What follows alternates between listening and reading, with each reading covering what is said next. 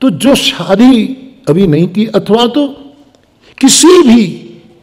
आकर्षण के, किसी भी प्रेरणा से आकर्षित होते, वो ध्यान रखो।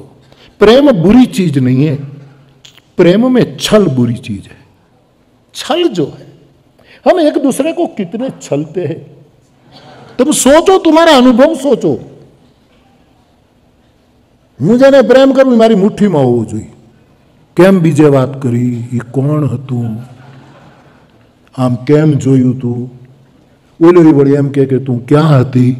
मुट्ठी में रखना बंद करो यदि प्रेम एक दूसरे को दिल में रखो रामायण यही आज किसी ने मुझे कि बापू ये सीता का संदेश क्या सीता का ये संदेश है राम का ये संदेश सब मुट्ठी में रखते ये काहे का प्रेम ये कौन सा प्रेम है